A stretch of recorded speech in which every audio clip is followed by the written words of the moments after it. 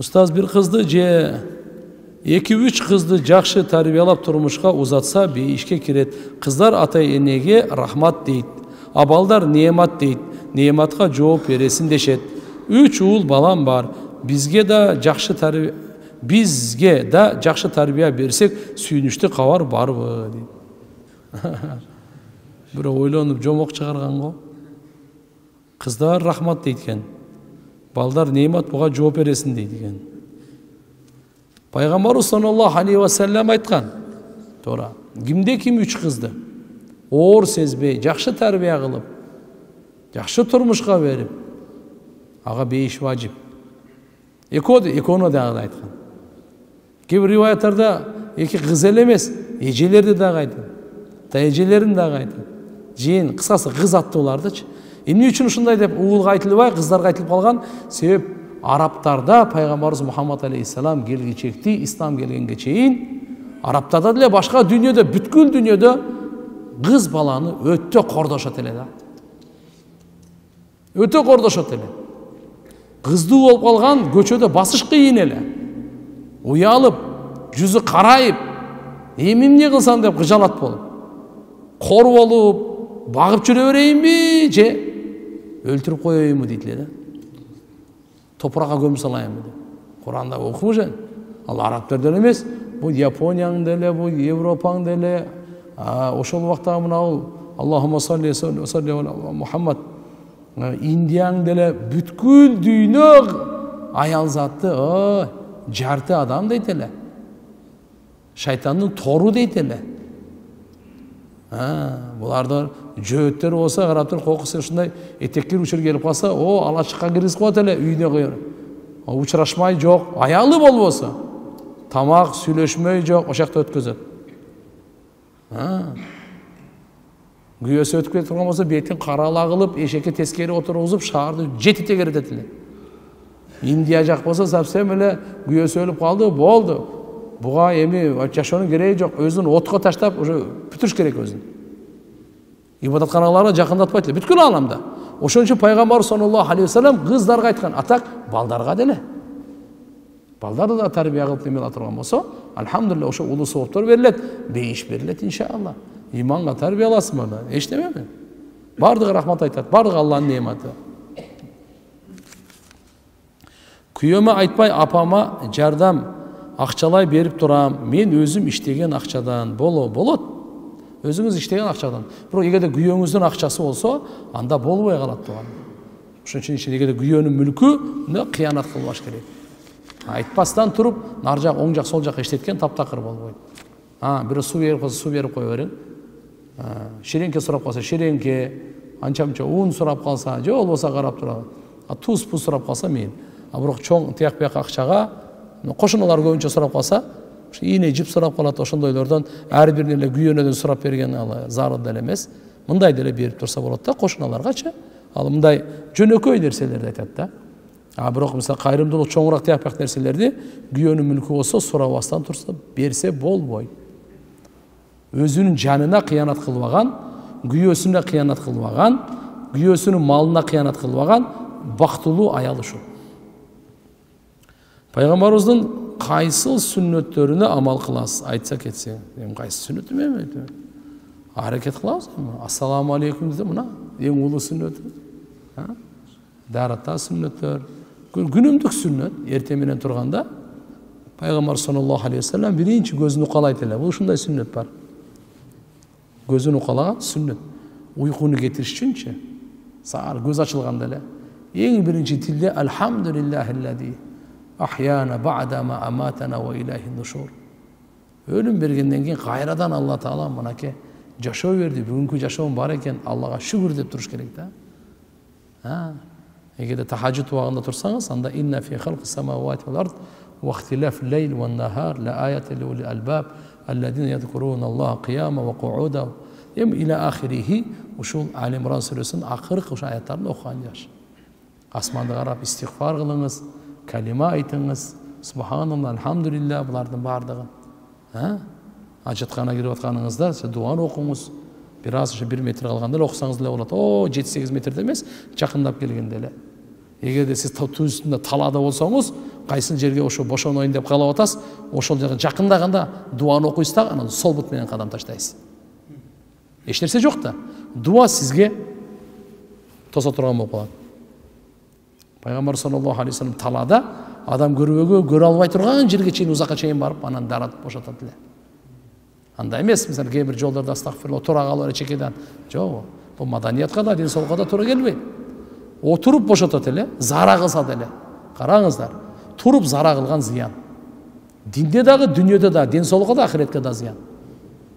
пайгамбар саллаллаху алейхи вассалам ушу китептерде ушуга чейин айтылынат абу дауд шарифте келет пайгамбар саллаллаху алейхи вассалам тике туруп эле жок жерге жапыс то есть жерге жакын калганда анан кийин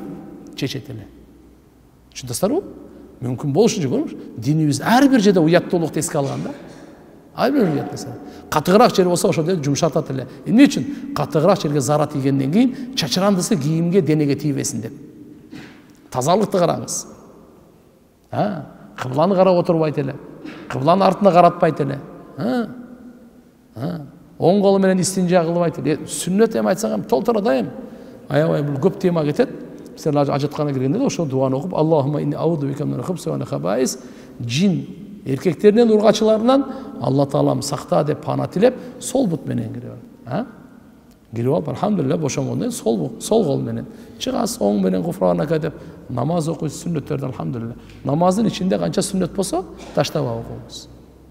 тамак жегенде ичкенде таарат алганда үйдөн чыкканда сүннөт менен дуаларды машинеге отурганда машиненин улоону мингенде ат минесизби эмне минсеңиз дагы анын дуалары бир жерге барсаңыз же бирөөгө жолуксаңыз салам дуа жана башка анан иншалла күнүмдүк баардык сүннөттөр аткарыла берет да так мен өтө көп мүшкүлдүккө түшөмүн чөгөмүн өзүмө ишенбеймин көп ыйлаймын бул да ооруга киреби кантип арылам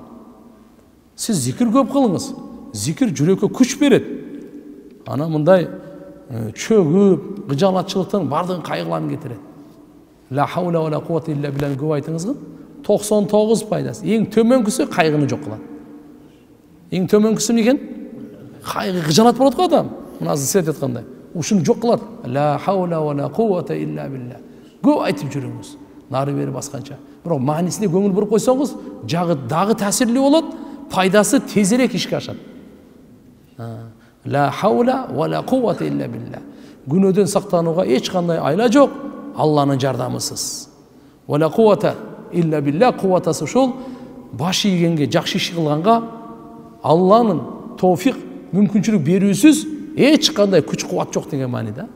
демек жакшы иш кылсаң дагы жаман иштен сактансаң дагы алланын жардамы алланын тофиги менен деген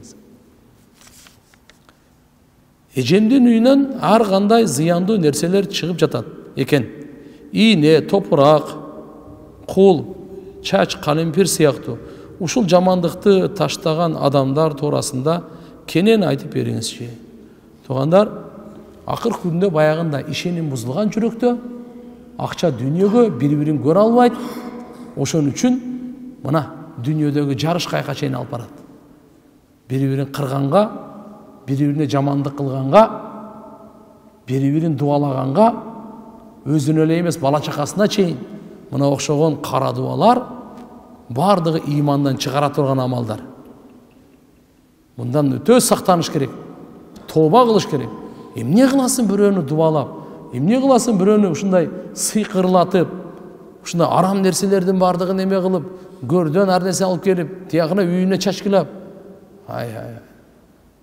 албетте алла тааланын каалоосу эч нерсе зыян бербейт бирок бунун таасири бар бунун деле анан мындан сактаныш керек ким ушундай менен алектенсе алектенсе билип койсун кудай сактасын ыйман алдыра бериши мүмкүн да. Кайра алла алла десе дагы ыймандан ажырап калышы мүмкүн туугандар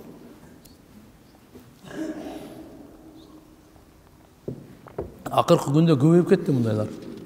өтө көбөйүп кетти бири бирин да ушундай жакшы жашап атканды көрө албайт иши жүрүшүп атканды көрө албайт бияктан туруп анан эстегендечи мындай да? Пайгамбарыбыз айткан ар бир неемат махсуд да бул дегендей көрө албастык кылынат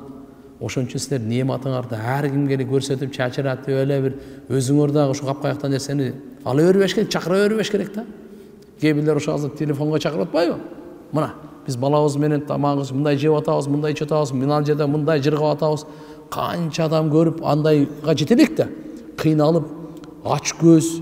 көзүнүн сугу көз тийүүсү ага мындай эле нерсе андан жогоркусу кандай кара дуба сыйкыр дагы жамандык ошондойлорго ошондойлорду чакырганга өзүңүз себеп болосуз да. Эмне кыласың андай кылып атып азыр адамдар тарбиялана элек. Имандын тарбиясы болсо го альхамдулилля э алла таала берип туруп машалла деп коет эле жок туугандар андай саламу алейкум устаз сизге суроо кыздар балага окшоп балдар кызга окшоп кийингендер жана кыз кызга бала балага үйлөнгөндөр тууралуу мындайлар шариятта ахирети кандай болот туугандар кыямат жакындап келатат десек адашпайбыз эркектерди алла таалам өзүнүн табиятында өзүнүн жарашыктуу өзүнүн жараша жоопкерчиликте өзүнө жараша үн өзүнө жараша күч акыл эс берип жараткан өзүнө жараша кийим берген аялдарга өзүнө жараша назиктик өзүнө жараша альхамдулилля бала төрөй турган да башка бала чаган тарбиялай турган жүрөгү эне аларга өзүнүн кийими бар өзүнө жарашыктуу өзүнө мүнөзү бар тиешелүү кудай сактасын пайгамбарыбыз ошон үчүн айтты кайсы эркек аялга окшосо кайсы аял өзүн эркекке окшотсо алланын периштелердин баардык адамзаттын наалаты болсун деди да наалат деген жаман бул каргышчы алланын ырайымынан үзүлсүн алладан узак болсун алланын каргышы жаасын бактысыз болсун деген сөз. Бул дүйнө кабыр эртеге кабырда кандай болот бул адам? Акырети кандай кандай жүзү кара болуп ошон үчүн туугандар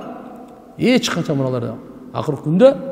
мына жердеги билесиздер эми батышта мындай мыйзамдар толтура. Эркек менен эркек баш кошуу деген астагфируллах бул өзү тема сүйлөй турган айта турган нерсе эмес. Бирок жаштарыбызды мындай эскертүү коркутуу нерсесин максат айтып коюш керек болот. Бул биринчиден динде туруп турсун адамгерчилик адамдык касиетке туура келбейт эркектик касиет эркектик ар намыс эркектик деген сыпатка туура келбейт эркектик характерге туура келбейт адамдык жөн эле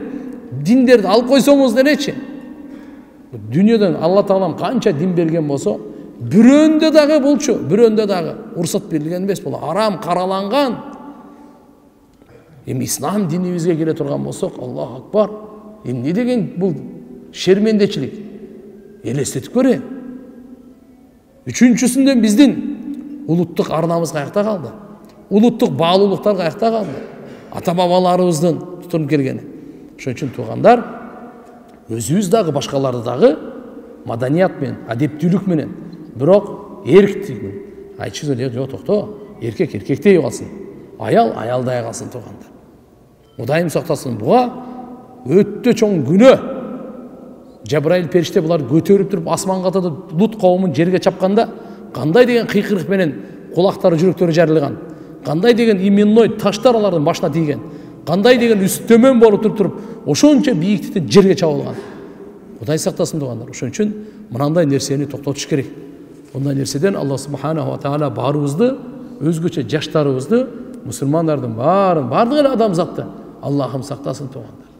мындайларга дуа да кылышыбыз керек иншалла тарбиялуу сөздөрдү альхамдулилля айтышыбыз керек биздеги иншалла карап туруп аял затында уят эркектик ар намыс деген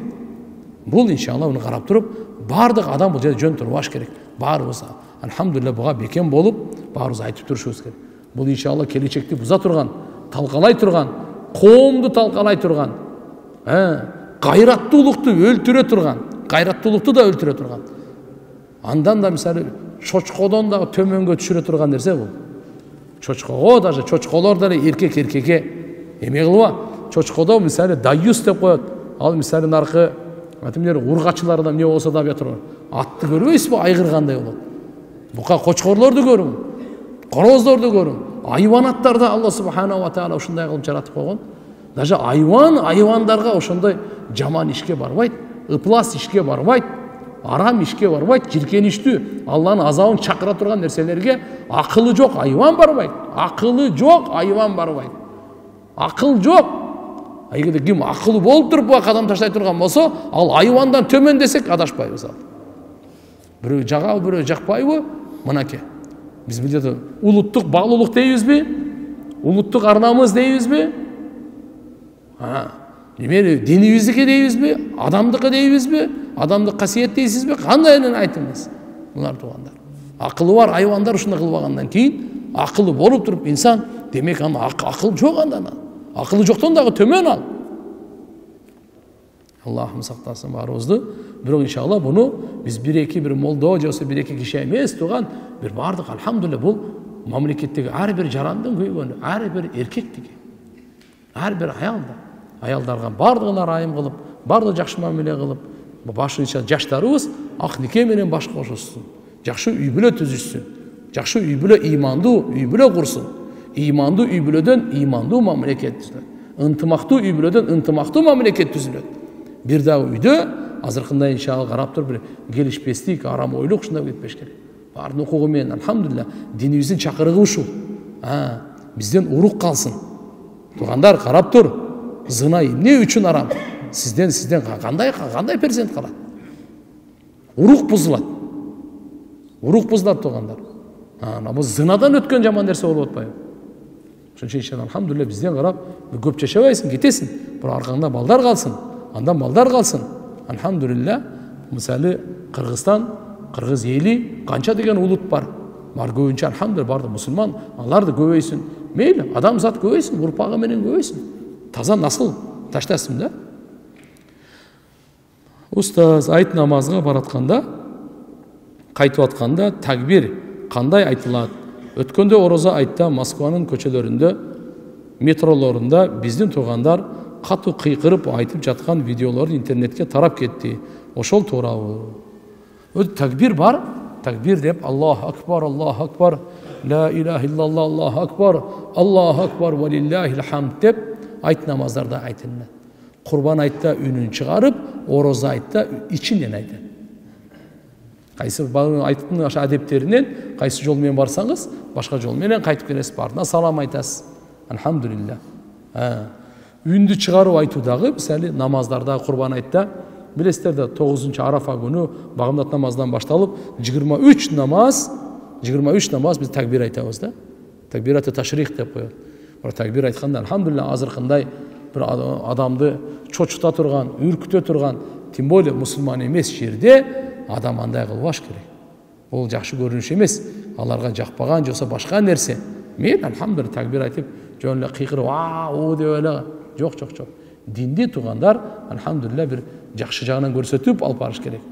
алар дагы карап туруп сезип туруп анан такбир жөнүндө андай кыйкырыла бербейт такбир өзүнүн жайында өзүнүн учурунда өзүнүн абалында өкүмдөр өкүмдөр өзгөрүп турат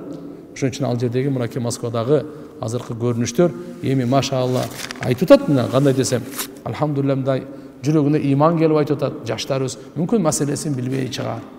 вот ошондойлорго иншалла жакшы бир насаат багыт туугандар орозо айтта такбир ичинен эле айтылат курбан айтта айтылат такбир машалла имам чыгат баардыгы такбир айтат жолукканда тияк бияктарда такбир айтып курбан курбанчылык чалганда да такбир айтылат бирок азыркындай туугандар ал мусулман мамлекеттерде мусулман эместерде өзүнө жараша карап туруп элдерге тоскоолдук болуп дин карманууга ошол жерге дагы кандай бир чектөөлөр болуп калбасын этияттуулук даанышмандык менен кадам таштаган ислам үйрөтөт айтпай койсун деген жерибиз айтыш керек бирок азыркындай көрүнүштөй эмес ал өзүн айта турган альхамдулилля өзүнүн кандай адеби бар өзүнүн маданияты бар өзүнүн айта турган учуру бар вот ошонун илимин алып альхамдулилля айтыңыз аллахым кабыл кылсын менин атамдын кулагы укпайт бирок беш маал намаз окуйт мечиттен калбайт уборка кылат мечитти бирок кээде арак ичип алат. Кандай осуят бересиз? Жакшы иштерди кылат экен. Бирок иншалла чөйрөсү жаман го дейм ошон үчүн сыртка чыккандан кийин жаман чөйрөгө кошулуп кичине ичип алат да. Буну сиз аракет кылыңыз ана беш убакыт намаз окуп атса кудайга шүгүр мечитти тазалап атат экен. Дааватка чыгып келсин. Жакшы чөйрөнү тандап бир жолу арактан арылсын да. Кырк күн жүрсө кудай кааласа кырк күн ичпей уже нар жагында адамдын өзүнө күч пайда болот эрк пайда болот. Жаман сууга жаман нерсеге жакындабаганга себеп дегенде мечиттин чөйрөсүндө кырк күн мечитте жүрүп мечитте чыгып альхамдулилля тазалануу болот да булчу тазалануу болот бул кырк күндө өзү субханалла курани каримде деле айтат да кырк күндө алмашуу бар экен да өзгөрүү бар экен. Адам баласынын жаралуусучу атанын белинен чыккан суу эненин ичинде кырк күн нутфа деп коет суу бойдон турат да кырк күн пайгамбарыбыз саллаллаху алейхи вассалам айткан бул кырк күн турат деген сахи хадис андан кийин кырк күн бул айланат канга эмне үчүн отуз беш күндө айланбайт вопрос. Эмне үчүн кырк беш күндө айланбайт кырк күндө айланат экен да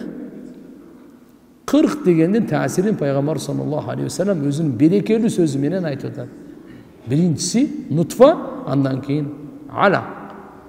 андан кийин мудга алака мудга андан кийин ошо канга айланып кандан кийин коюлган кан чайнала турган эттей ошондой айланат ар бири кырк күндөн да ар бири пайгамбарыбыз айтты ким менин мечитимде кырк намаз такбир ула менен масжиди набави пайгамбарыбыз саллаллаху алейхи вассаламдын мечитинде мадинада окуса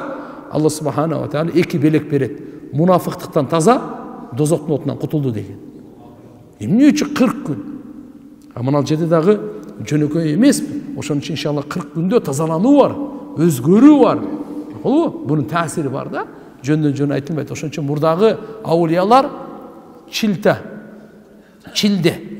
Чилтан деп коет чилде деп коет. Мына ошолорго кирип кырк күн жерге кирип кетчү экен